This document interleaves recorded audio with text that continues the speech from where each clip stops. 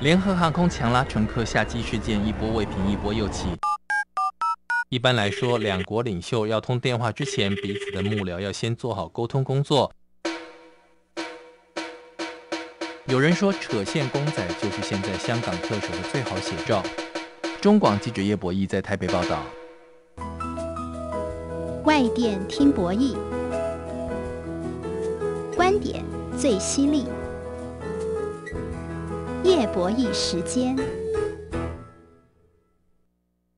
好，现在时间八点三十分，欢迎大家光临夜博弈时间，博清哥时间又来了，五千搭博弈轻松又有趣。哎，我们先跟这个收看直播的朋友打个招呼吧。大家好，听说你有个新的封号，哎，我说我没有什么封号，但是有啊，嗯，我听他们说你现在要一个封号叫做文科阿仔，文科阿宅吗？哦，文科阿宅的，你在呛谁啊？呃，文科阿宅，对啊，你针对性很强哎。嗨，大家好，大家今天过得好吗？我是文科阿宅，欢迎来到有像哎，有像有像，OK。好了，博金哥，时间今天要讨论什么有趣的话题呢？因为今年对于日本来说是一个重要的分水岭了。哦，因为像那个明仁天王要退位了，而且平成时代要结束了。当德仁即位之后呢，就要迎来一个全新的时代，而且他们要迎接的第一个大事就是明年的东京奥运。对，明年的东京奥运其实好快哦。那个什么一六年的里约奥运好像才过去没多久，四年呢，岁月如梭，一下就快，明年就明年就这个东京奥运了。对，嗯。而且东京奥运呢，其实现在筹备的进度是如火如荼哎，因为我上周去的日本，你看我我们呢就是那个上个礼拜就是派那个曾武清先去考察一下，考察一下，对对对。那你觉得你觉得呢？那个街头有那种这个 Olympics 的气氛吗？有啊，你看我们现场拿回来的道具，这个是我从这个上次去去完日本之后带回来的。其实我们介绍一下这个东京奥运的 logo 好了，因为之前这个冬奥的一个 logo 还引发一些争议哦。因为他之前传出他们本来这个选出来的这个 logo 呢，涉嫌抄袭比利时烈日剧院的一个 logo，结果呢就打掉重练。对，现在大家看到的这个是最后出炉的版本，我给大家看一下啊。其实日本这一次这个冬冬冬奥，虽虽然大家觉得说办在日本好像比办在里约。啊，要好一点，好像听听说这个不不少人因为这个日东京奥运的缘故，就现在抢着要去东呃东京啊这样子预或者预定。但是呢，其实东京奥运遇到几个问题，第一第一个呢就是这个包括这个 logo 刚开始的时候就出师不利啊。对。那第二个呢就是这个场馆。场馆本来刚开始的第一第一次设计是那个很有名的那个设计师叫什么熊来着？伊东丰雄。对了，伊东丰雄建的。后来伊东丰雄建的呢超预算，因为他那个呃大家知道伊东丰雄那个想象力丰富这样子，但是呢想象力太丰富的话，那盖不盖出来就超那个超预算。结果呢他们就也是。你除除了这个 logo 打掉重练之外呢，场馆也打掉重练，他们又盖一次。哇！然后呢，现在呢，但虽然即使如此，他们极力要省钱，但是还是要追加预算。对，所以这是东京预算，呃，东京奥运目前遇到三大难题。是，哎，我们来介绍一下这个东京奥运的一个会徽。好了，这个 logo，呃，大家可以发现哦，其实有没有看到？就是一个蓝色跟白色的概念。它原本抄看一下，它原本抄袭我看得懂，它现在改过我看不懂。你觉得？哎，我来介绍一下。对啊，对啊，对啊，你不要小看这些这个方格的图案哦。对啊，大家现在可以赶快收看我们的直播，你可以看到这个东京奥运的一个会徽哦，就是一个 logo。这个方格的图样，它其实叫做世松纹啊。这个名称其实来自于这个江户时代有一个歌舞伎的演员，他叫做佐野川世松，因为他会穿着深蓝色还有白色两色方格交错的一个裤子哦，当时呢是蔚为风潮，所以这次他们设计的这个冬季奥运的一个 logo 呢，就是呃以这个歌舞伎的传统可以看到的世松纹呢，就是这个方块的图案，尤其呢蓝色好像是日本的代表色嘛。对对对对，呃，然后这个中中间这个地方好像就是一朵樱花的感觉的样子。对，然后这个蓝色白色就是奥运在夏天举行，他们希望能够呃制造出一种那种清凉的一个感受。啊，对对对，好，哎，那介绍完这个会威，我觉得再来介绍，哎，这个冬季奥运也有吉祥物哦。对，这个蓝色的这个呢，就是夏季奥运，因为它是我们叫他们叫夏奥跟帕奥，对，所以帕奥就是这个深圳奥林匹克了。那这个是夏季，这个呃蓝色这个呢是夏季奥运的这个呃吉祥物，它叫做呃米莱多瓦，米莱多瓦。然后这个粉红色这个呢是帕奥的，就是深圳奥运的这个吉祥物，它叫做呃。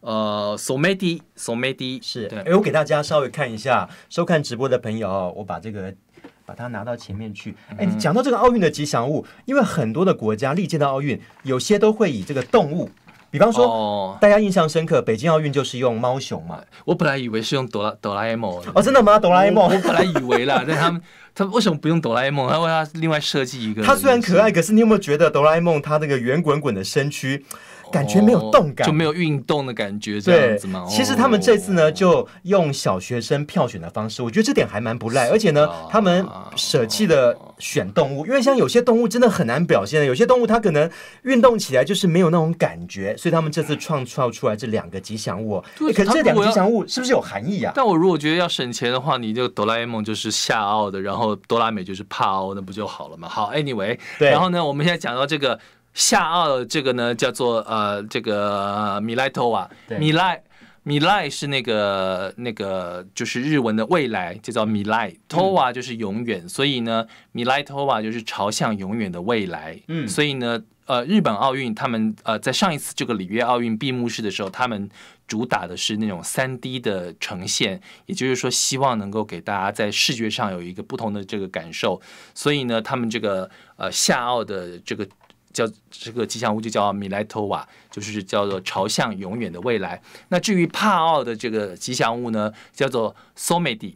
So Somedi 呢，这个 Somei Somei 就是染井，然后有呃，它是取自染井吉野樱 Somei 呃 Yoshino 呃 Sakura。对，那但是呢，它的这个缩写呢就叫做 Somedi。嗯，那个 Somedi 呢，就跟那个英文的 So Mighty 非常非常的有力，是呃有谐音的，所以他是希望说用这两个呢来当做呃日文的吉祥物。不过呢，就像刚刚我所说的，嗯。很多日文日本人都觉得说，为什么这么高刚的？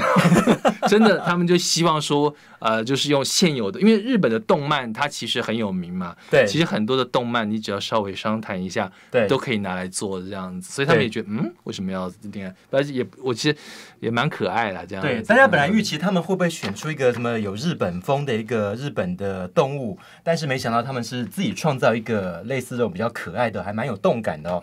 好，那讲到东京奥运现在面临的几大问题，你刚刚已经点出来，像有一些争议哦。那其实现在最新爆发的是那个行贿的丑闻啊，这是怎么回事啊？就是说，呃呃，日本的他们之前在这个一三年呢，在争取这个奥林、呃这个二零二零年奥运的时候呢，就爆发出有这个、呃他们的奥会主席叫竹田恒和，他们好像用买去买，因为他们在先前的时候，呃，在争那个零八年奥运的时候输给了北京，嗯，那后来呢，他们但还是很想很想很想很想办奥运，但其实零八年那个时候输给北京也没有什么，因为其实呃那时候东京人不想办奥运嘛，对。但是你酝酿了酝酿了八年的奇运之后，东京呃经济差不多恢复了，所以他们那个。办奥运的心情也其实就慢慢的起来，有没有必要行贿？其实有，呃，有有有还有斟酌的余地了。但是，呃，这是法国查出来，法国觉得他有行贿，他买的是法国的检方指控这个日奥日本奥会主席竹田恒和，他们他有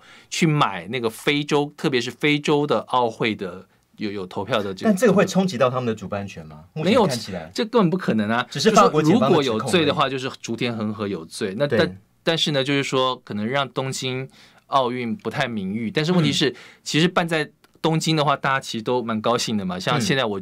我据我了解啦，嗯是很多人都预备想要去这个二零二零，就现在已经开始要准备要要冲冲饭店了。对，然后因为办在日本，大家都很高兴嘛，这样因为日本大家都觉得对他印象很好。所以目前看起来可能不会冲击到他们的主办权。我觉得，我觉得最呃最伤脑筋应该是小池百合子吧，因为那个钱一直攀高，让对他就觉得说这个，因为他就说呃，要不然你中央要补助我，那嗯专问题是小池百合子跟这个日自民党又不好，那嗯自民党要到底要给你多少，那就是就是大家要互相谈这样子。对，那所以接下来我们就要谈几个他们实际上哦要办奥运可能会面临到一些状况。我想第一个大家联想到的就是交通的问题。这个交通，呃，你你实际说一下 我，实际说一下，这个这个我也不知道该怎么说。他既然真的是那个上班时间去搭电车的勇者，然后你说一下你搭上班搭电车的状况因为。上周我刚刚去了日本一趟，我从来不会上班时间去搭日本电车，所以要这个提醒各位听众朋友，如果你在日本自由行哦，你在东京搭地铁，一定要一定要就是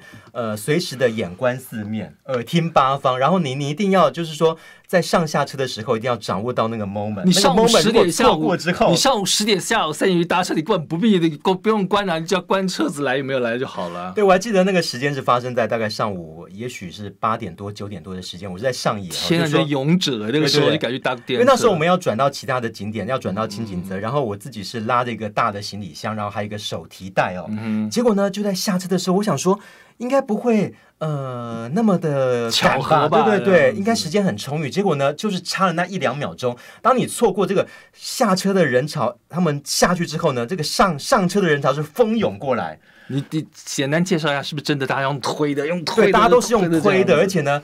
而且无视于你，比方说，你就拿一个大行李箱站在门口，你就是想要下车，你讲 s i m a s e s i m a s e 没有人会理你的、哦，他们都是直接用推上来的。嗯嗯如果在台湾的话，也许呢，大家还会说啊，礼让一下，让一下，让一下，因为有人还要有人还没有下车，稍微让一下。对，但是他们不会，嗯对。对对对，这是日本人很奇怪的，就搭电车很有趣的文化，就是说他们不会让的，嗯。就是说呃上下车，比方说有人要下车的时候呢，那个要冲上来的人他不会让，他就你就是他们你们俩就对撞吧这样子。对对对另外呢，就是在电车上也不会让座，都不让的这样子。所以那这个问题就来了哦，你看哦，平常整个大东京的一个地铁的运输量大概是八百多万人次哦，嗯那么现在有专家预期，如果是奥运举办期间，每天还会再增加一百多万呢，那这要怎么办啊？哇所以他们就要加开这个呃，通常的话就是山手啊，他们其实大部分的呃这个他们呃东京有很多条这个电车线嘛，应该是就整个都要动起来了这样子，对啊。嗯嗯嗯，所以要赶快去预防。那另外除了交通问题，还有一个问题就是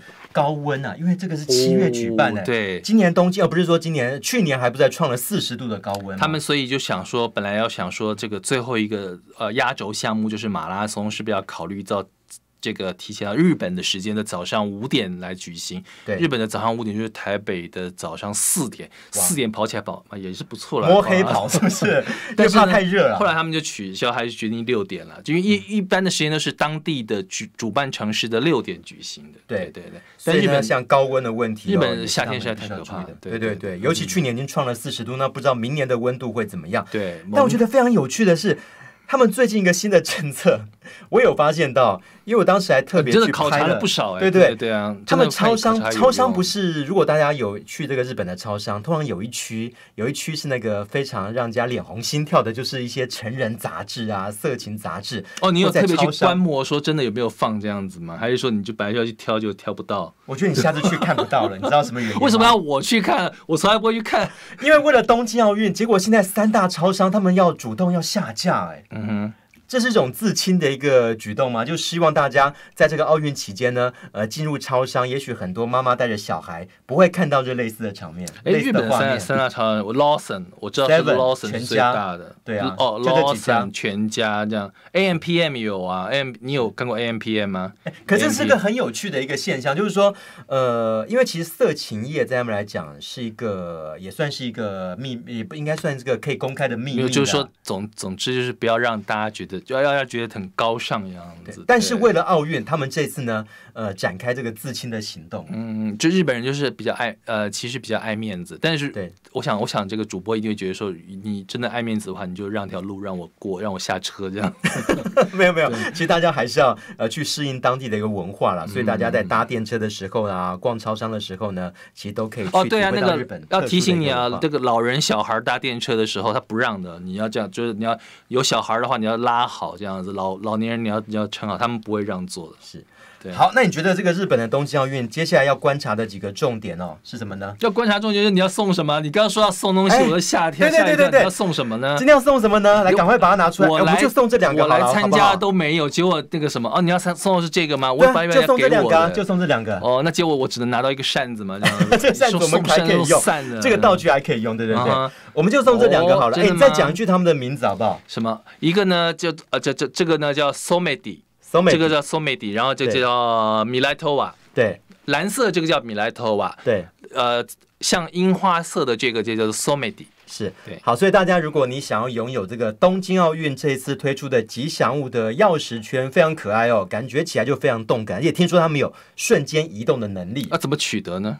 怎么取得啊？我待会会把这个方法，我们会把这个影片哦上传到我的脸书的一个粉丝团上面，所以大家大概也许十点钟的时候要锁定哦，我们会把这个影片上传。如果只要分享的朋友呢，并且哎、留下一个通关密语好了啊，好不好？通关密语我觉得就取这个五清搭博弈，轻松又有趣，好你觉得怎么样？好好好，可以啊，可以啊可以。主要大家都是那个呃，通关密语，大家不会很在意，大家就重在意他你到底怎么抽了。对，不是你要有说的通关密语才可以送你啊，所以请大家待会十点钟，请大家锁定我跟你讲。，一般都是脸书的粉丝团一般要按赞，然后要分享，还要 take 一个好友。